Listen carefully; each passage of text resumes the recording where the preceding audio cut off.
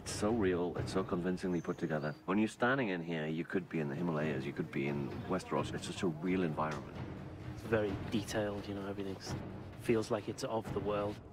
It's enormous. It's, it's there. It exists. It is gigantic, and there's everything that you need in here. I mean, you could live here. I mean, the rain doesn't come through. It's brilliant. There's no leaks. The gates work, everything, the walls. It's just there are even rooms back there. Even the lift, the elevator, is a working, fully working elevator. In season one, me and John Bradley got stuck in that lift, so it doesn't always work. If they want to spend the money on frightening us like that, then so be it, really. This is a great set. It's one of the best sets I've ever been on because that's what this world is about. It's the northern edge of civilization. It's rough, it's grim, and when it rains up here, it gets grim.